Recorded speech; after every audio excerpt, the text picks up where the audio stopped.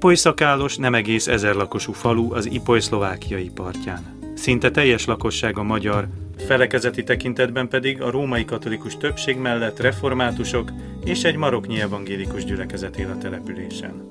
A csökkenő lélekszámú közösség évtizedeken át magyar ajkú lelkész nélkül gyakorolta vallását, az utóbbi években viszont példaértékű kapcsolat indult köztük és a Magyarországi Evangélikus Egyház között. Ennek a kapcsolatnak lett mérföldköve az a szlovák-magyar püspöki találkozó, amelynek 2006 májusában Ipoly szakálos felújított evangélikus temploma adott otthont.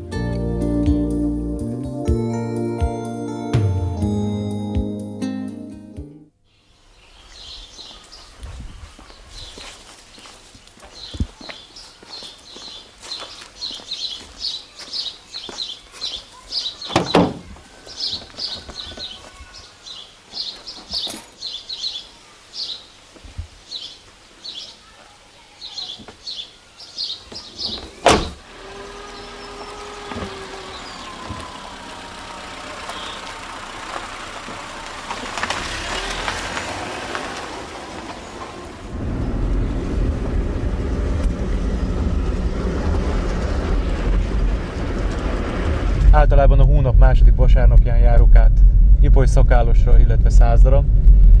Vasárnap délelőtt Nagybörzsönyben van Isten tisztelet, 11-kor vége van ennek az Isten tiszteletnek, utána a vezetőséggel még a helyi dolgokat, az aktuális gyülekezeti ügyeket megbeszéljük, és utána körülbelül van egy negyed órám ebédelni, és van úgy, hogy egy-két-három gyülekezeti tagunk is jön, jön velem Ipoly szakálosra, illetve százdra. Negyed egykor kell elindulni, és oda kell érnünk százra egy órára, illetve szakálosra negyed háromra, fél háromra, amikor az ember átér az egyik gyülekezetből a másik gyülekezetbe. Nem minden nagy ünnepen tudok eljutni a két gyülekezetbe, hiszen Nagybörzsönyön kívül még van három magyarországi szorványom, így általában húsvéti ünnepkörben nagypéntek délutánján urvacsorai alkalomra tudok átmenni a két gyülekezetbe.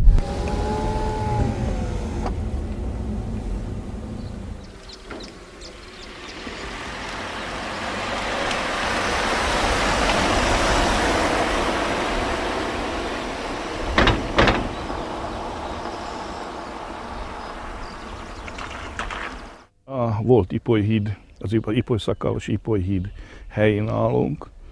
Ez a híd a front alatt semmisült meg, de még az egy része, innét körülbelül a katolikus templomig még megvolt, és az 1960-as évek vége felé szedték szét ezt a hidat, és tulajdonképpen ezzel szűnt meg a kapcsolatunk. Ez volt a köldögzsinór Magyarország felé.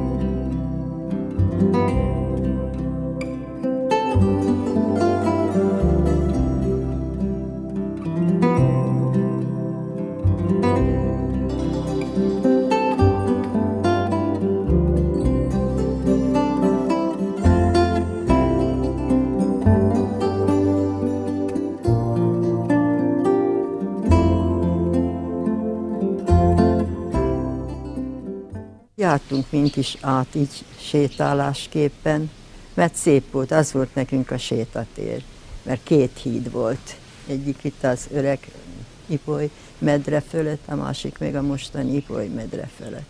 Ez egy teljesen mezőgazdasági terület, ahol, ahol az emberek, paraszt emberek élnek, és, és a mezőgazdaságból éltek.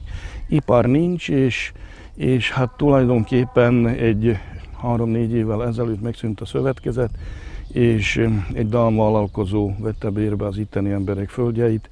Tulajdonképpen a mezőgazdaság is az ittenieknek, a helyieknek megszűnt, és kénytelenek elvándorolni. Fiataljaink mind külföldön dolgoznak. Érdekesként meg, meg kell említsem, hogy a közel az egész futballcsapatunk kint van Angliában, nem mint futball, futballcsapat, hanem dolgoznak, és, és ott próbálnak érvényesülni. Rengeteg ember jár a túloldalra dolgozni, Magyarországra, Rétságra, Valmos, Mikol, Valmos Mikolára is, Szobre, Budapestre, egyéb helyekre autóbuszokkal hordjuk őket a munka után. Tehát itt helyben munka lehetőség nincs. Nekem az óriási jelentőségű, és személy szerint rengeteget jelent az, hogy az ottani magyar gyülekezetek annyira kívánják, és ahogyan a ö, Szentírás is fogalmaz, éhezik az Istennek az igéjét, és hogy ez még az anyanyelvükön hangzik el, ez az ige hirdetés, az ige olvasás, az imádság, ez, ez olyan megbecsült a számukra, amit azt gondolom mi az anya országban élők nem is tudunk annyira megbecsülni, illetve annyira megszokott, hogy számunkra elveszti a jelentőségét. És itt látja meg az ember, hogy mennyire fontos az, hogy az ember az anyanyelvén szólhat, az anyanyelvén szólhat a másik emberhez, és az anyanyelvén szólhat az, az Úrhoz is.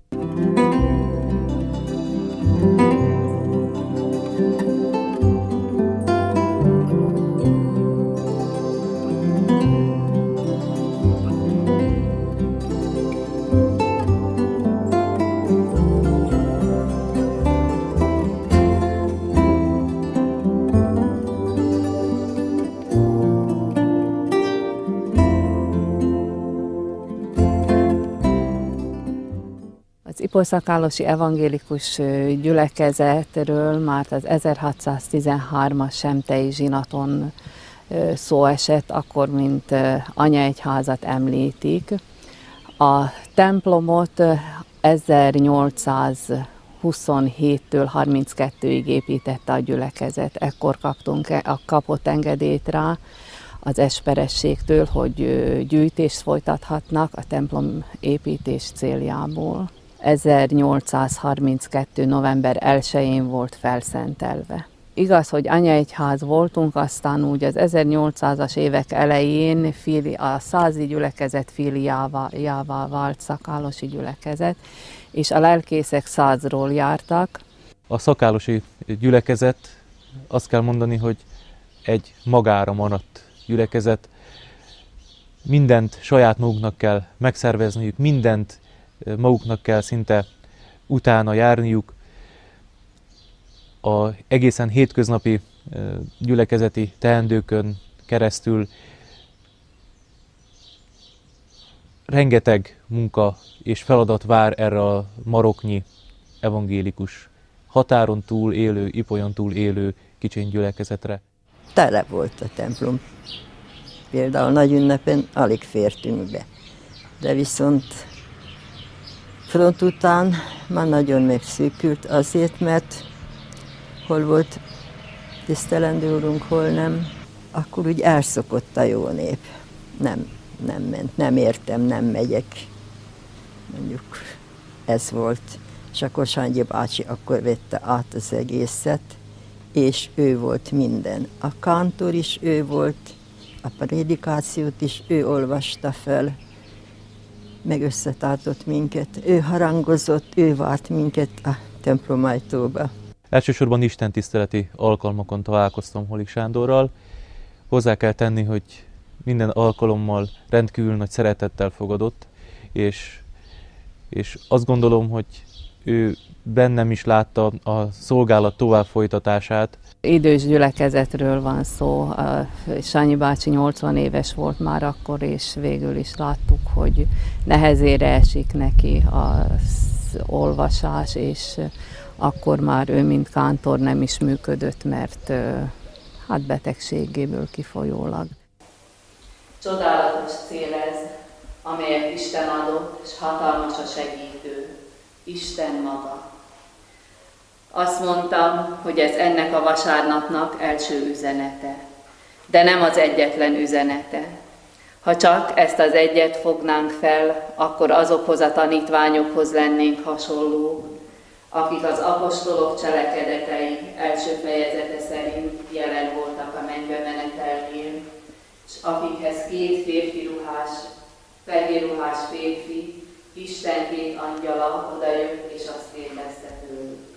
Emlékszem rá, hogy abban az időben délelőtti istentiszteletet, a délutáni istentisztelet is követte, csak nem minden vasárnap, és hát így, így, így talán kissé, kissé más volt a, a, a, hangulat is. Ma már eléggé kevesen vagyunk, de azért szívesen csináljuk.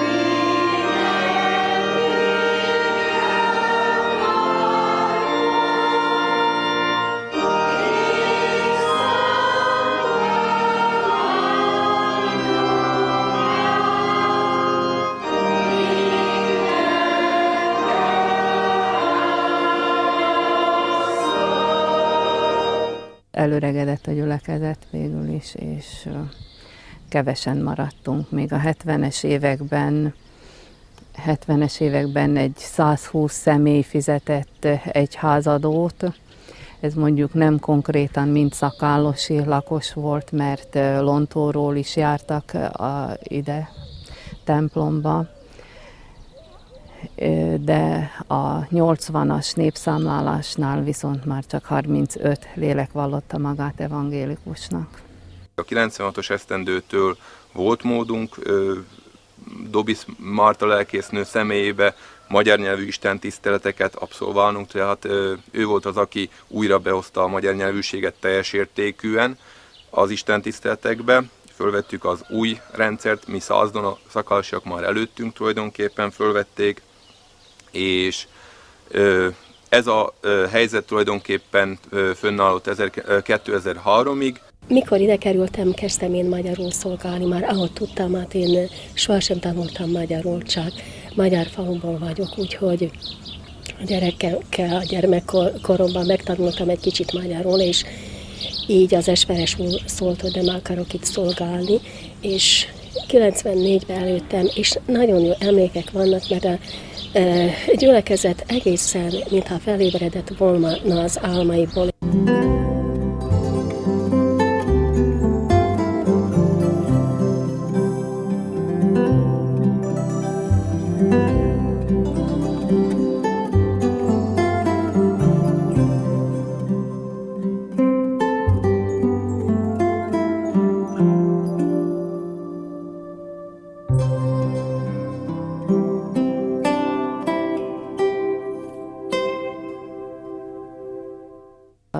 Itteni alapiskolának kapcsolata van a Vámos Mikolai alapiskolával, és ők kirándultak Nagybörzsönybe, és az ottani lelkész úr és az itteni tanítónő szóba elegyedtek, és hát nagyon megörült még akkor a Turánszki lelkész úr, hogy itt az Ipoly túloldalán létezik egy kis evangélikus gyülekezet, ellátogatott ide Ipoly szakállosra, aztán hát mi úgy gondoltuk, hogy talán jó volna kapcsolatot kialakítanunk a magyarországi gyülekezettel, ugyanis magyar ajkú lelkészünk nincs. 2000 őszén kerültem ide Nagybörzsönybe, az evangélikus gyülekezetbe, és 2000 őszén volt az első tulajdonképpen igazi kapcsolatfelvétel, akkor mentünk el Ipoly szakálosra egy templom szentelési emlékünnepre, ahol tulajdonképpen a két gyülekezet találkozhatott először egymással. Ide érkezett, úgymond friss, friss lelkészként, azt kell, hogy mondjam, először kicsit furcsa volt, hogy határon túli magyar gyülekezettel is kapcsolatot tartunk, de aztán a későbbiekben egyre természetesebbé és belső igényé vált az ember számára, hogy az ottani magyarsággal, az ottani magyar evangélikussággal tartsuk a kapcsolatot. A hivatalos egyházi beosztás szerint az ipolysági lelkésznő szolgál százon és szakálloson is. A lelkésznővel általában Isten tiszteletek után találkozunk, de persze csak abban az esetben, hogyha fontosabb gyülekezeti ügyben kell megbeszélést tartanunk. Ilyen megbeszéléseken vagy tolmácsolnak, vagy németül tudunk egymás között beszélgetni, tárgyalni. Minden hónap második vasárnapján Lajtos János lelkész úr szolgál Isten tisztelettel gyülekezetünkbe. Magyar ajkú Isten tisztelet. A hónap negyedik vasárnapján van még lelkészsel Isten tiszteletünk, az viszont szlovák Isten tisztelet, mert az ipolysági lelkésznő nem beszél magyarul. Ez egy kicsit gondot okoz, mert hát a, nagyon szépen prédikál végül is, de az idősebb emberek nem értik. Ezért a liturgia olvasott, magyarul olvassuk, és elhangzik egy magyar nyelvű felolvasás is még a prédikáció mellett.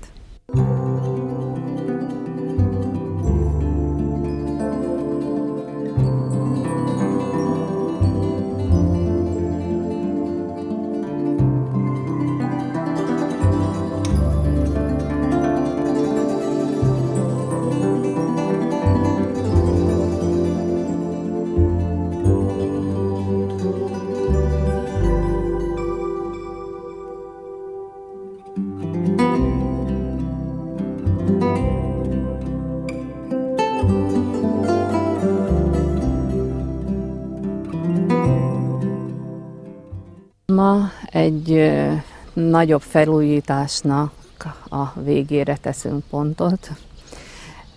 Sikerült majd, hogy nem teljes egészében felújítani a templomot. Egy-két évvel ezelőtt kezdtünk hozzá a javításokhoz, ekkor, ekkor kicseréltük a szószéket, ami elég rossz állapotban lévő volt, és felújítottuk a karzatra a lépcsőket. Aztán a tavalyi évben folytattuk a javításokat, kicseréltük a padlót, megjavítottuk a padokat, és az oltárt is felújítottuk a festését. A belső tér ki lett festve, aztán a templomnak a külső tatarozását is sikerült elvégezni, a toronyfestést és kívülről is át lett festve, végül is a templom fel lett újítva. A felújítás egyesítette, illetve közelebb hozta egymáshoz a gyülekezeti tagokat, a falu lakosságát. Most nagyon szép és újszerű a templom, és remélem ennek a ténye magára hívja azoknak a figyelmét is, akik időközben elmaradtak a gyülekezetből. Remélem bennük is felébred a vágy arra, hogy idejük egy részét és szívüket is odaszállják az új épületben folyó istentiszteletekre is.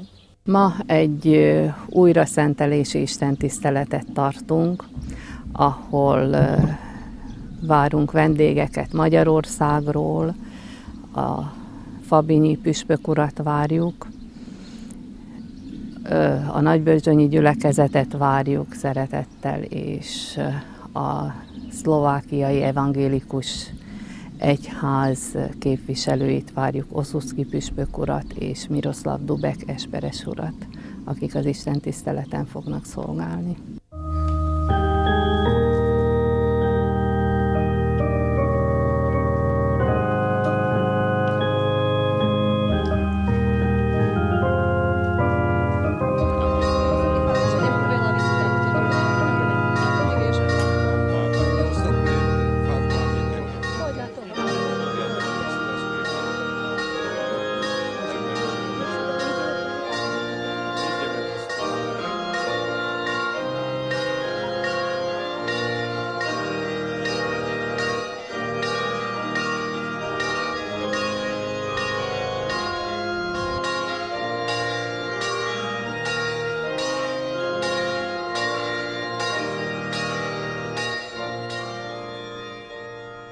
Testvéreim, ha nincsen helyben lelkész. Milyen jó, hogy van beszolgáló lelkész, aki idejön százdról, vagy idejön ipolyságról, vagy idejön nagybörzsönyből, és hirdeti az igét szlovákul, hirdeti az igét magyarul, hirdeti Istennek azt az igéjét, amely élő és ható.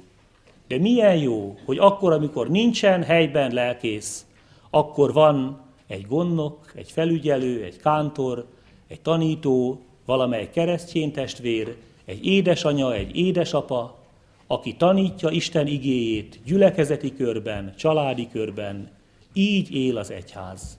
Így lehetünk igazi közösség. Istennek adunk ezért hálát, hogy ő tartja meg a gyülekezetet, ő tartja meg az ő népét, ő tartja meg az ő ipoly szakálosi közösségét is.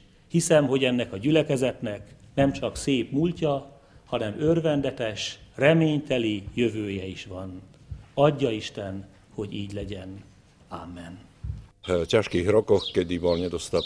Hosszú idő óta, amikor is lelkész hiány volt, talán most először lesz lehetőség arra, hogy ezek a kis létszámú gyülekezetek is lelkészt kaphassanak.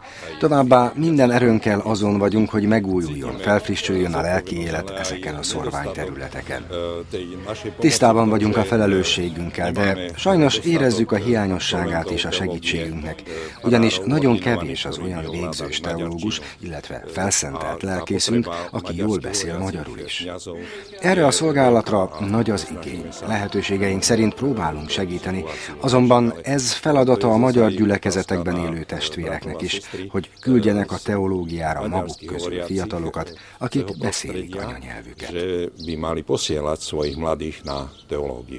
Tíz évvel ezelőtt nagyon fontosnak tartottuk, és nagyon fontos ez ma is, hogy ez a gyülekezet, mivel hogy magyar nyelvű emberek élnek itt, Szóval a magyarok, akkor, hogy ez a istentisztelet magyar nyelvben legyen, ezt meg is akartuk hagyni, és továbbra is ez, ezen igyekezzük, hogy úgy, ahogy volt ez a gyülekezet, Anno Domini 100-200 évvel ezelőtt, hogy magyarul hangzott az Isten igéje, úgy akarjuk, hogy ez továbbra is így legyen, és azon igyekezünk, azon igyekezek én is, bár már itt nem szolgálok, de ez a lényeg, és ez nagyon fontos.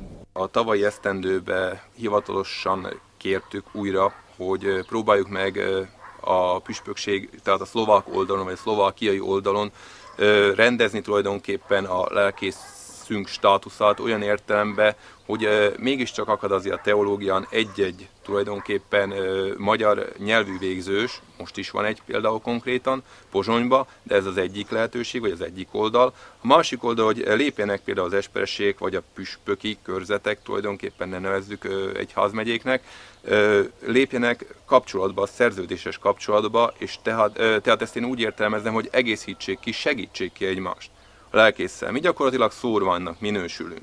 Sokszor szóvárnak minősülnek a Gömöri szigetek is, és már sajnos a nagyobb bocska városi gyülekezetek is, ahol még magyar nyelvű hirdetésre van igény. Tehát ez azt jelenti, hogy kölcsönösen ki tudjuk egymást segíteni, és ezt úgy a Nógrádi lelkész többlet potenciálisan jótékonyan hathat itt nekünk. De, de ugyanígy tulajdonképpen nekünk nagyon hasznos tulajdonképpen, és nagyon jó az, hogy a nagybörzsönyi lelkész úr hát erejének maximumára érve tulajdonképpen, de el tudja látni a lelkészi szolgálatot úgy itt nálunk is. Itt kevés gyerek van, és vannak egy páran esetleg olyak is, akik nem látogatják a hittanoktatást, de úgy gondoljuk, hogy közénk tartoznak a mi gyerekeink, és végül is lehet, hogy ha most nem is, de talán később, ha felnőnek, vissza fognak emlékezni erre a gyülekezetre, hogy ők, őket ott számon tartották, hogy ők ide tartoznak.